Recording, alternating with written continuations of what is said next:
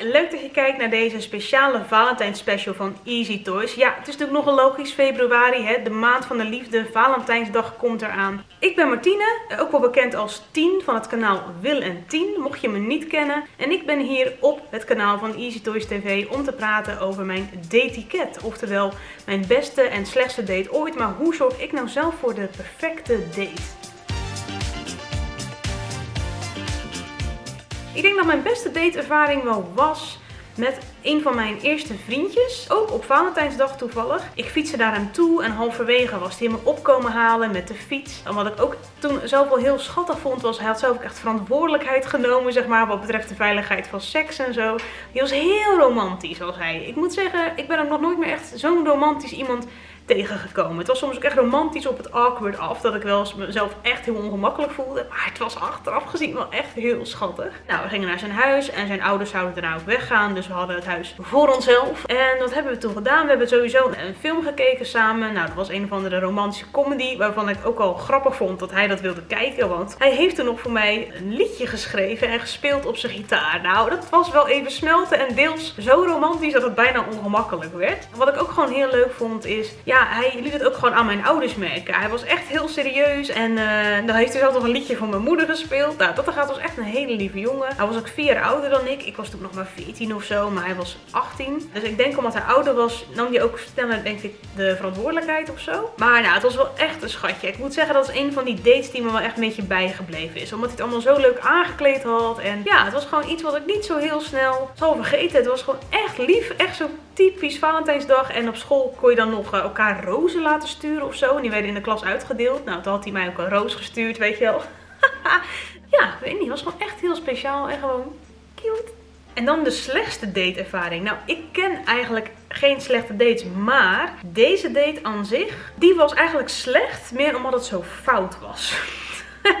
ik had toen een vriendje en dat nou ja, was echt een niet-zeggend vriendje. Uh, en ik had ooit in die voorgaande jaren een jongen leren kennen. Daar was ik echt gek op. Echt verliefd, maar meer vanuit lust. We hadden echt enorme chemie samen. Maar dat was echt een slechte date. Gewoon een stoute, slechte date. Uh, dat komt omdat ik een vriendje had en hij had een vriendin. En uh, ja, toen kwamen we weer, hij had blijkbaar mij gemaild, had mijn oude mailadres nog. En zo ontmoeten we elkaar weer jaren later. En toen dacht ik ineens, oh oké. Wij waren echt het type aantrekken en afstoten. Dat we tegen elkaar zeiden, ja, het kan eigenlijk niet. En hè, we doen het niet. Nou, vervolgens zaten we weer uh, heftig te tongzoenen ergens in een hoekje, weet je wel. Nou, zo'n soort type relatie zou je kunnen zeggen. Maar goed, uh, we besloten dus uit eten te gaan als vrienden. Ik weet nog zelfs dat hij ook een foto stuurde met zal ik dit aantrekken. En toen dacht ik, ja, dit is niet zomaar eventjes oude herinneringen ophalen of zo. Ja, nou ja, gereserveerd bij een restaurant en daar zaten we dan. En op een gegeven moment toen um, merkte ik gewoon van, oké, er is echt veel meer. De spanning was echt om te snijden. De chemie was echt alom. En het was echt lust, lust en nog eens lust. Ja, weet je, het was van ons alle twee ook niet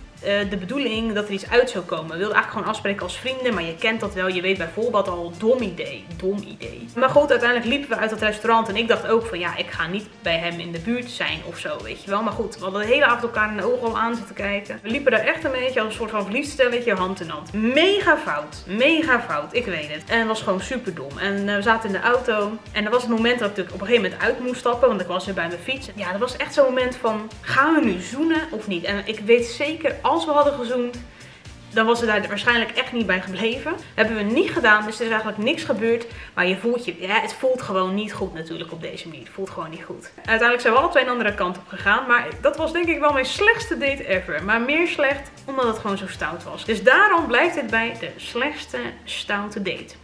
Ja, de perfecte date. Wat zal ik daar eens over zeggen? Ik ben dus, ja, zoals je hoort, niet zo per se heel erg van het daten. Ik weet nog dat ik toen mijn huidige man ontmoette, een half jaar later.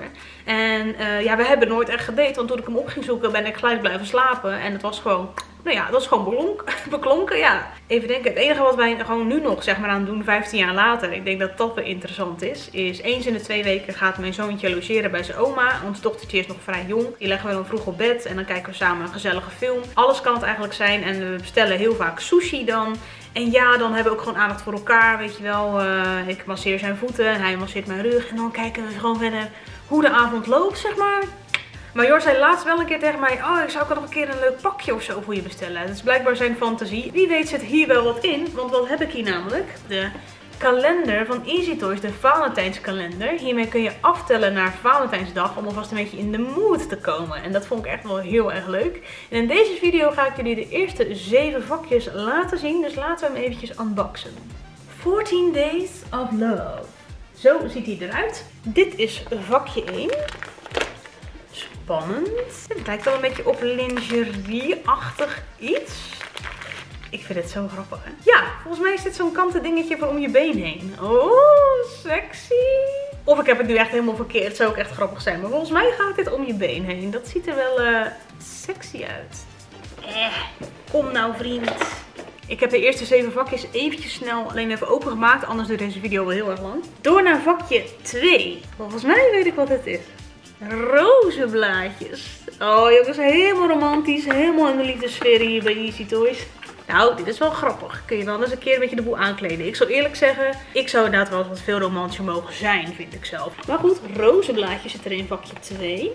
Ik kan wel zien dat ik echt een pro-unboxer ben. Kom op, team. Doe je best.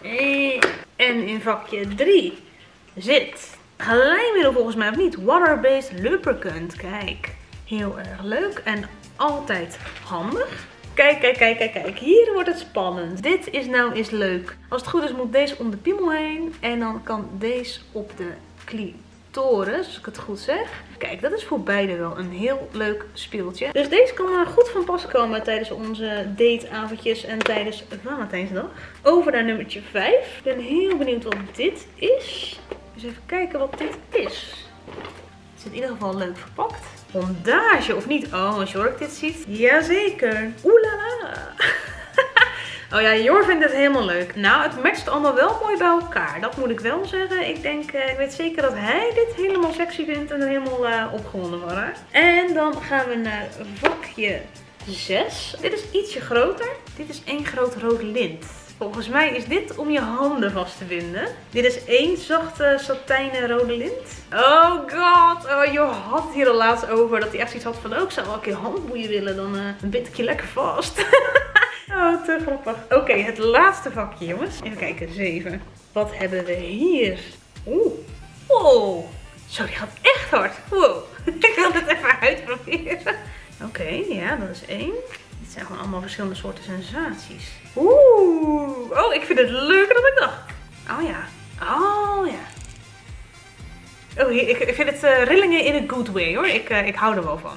Ik vind het ook echt zo leuk dat alles zo leuk bij elkaar past. Gewoon alles zo mooi rood. Gewoon echt hè, de, de, liefde. Echt heel erg leuk. Nou, wat betreft die date op Valentijnsdag kan ik me voorstellen als ik deze spullen zo om me heen zie liggen. Dat ik denk, we moeten denk ik de sushi date maar wat vervroegen en de hele avond hier eens een beetje naar kijken. Ik weet in ieder geval zeker dat Jorek hier helemaal blij van wordt. Al deze dingetjes dat vastbinden en uh, dit kleine massage dingetje. Daar ben ik zelf ook heel benieuwd naar. Nou, deze Valentijnsbox kun je natuurlijk bij easytoys.nl. En ik mag echt iets heel erg leuks doen. Ik mag namelijk een van jullie verblijden met deze Valentijnsbox van Easy Toys. Wat moet je daarvoor doen?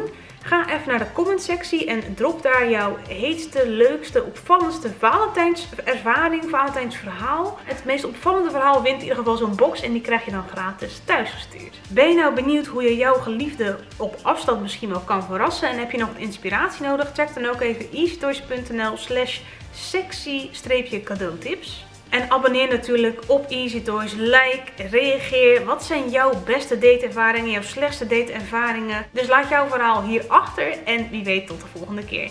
Doei doei!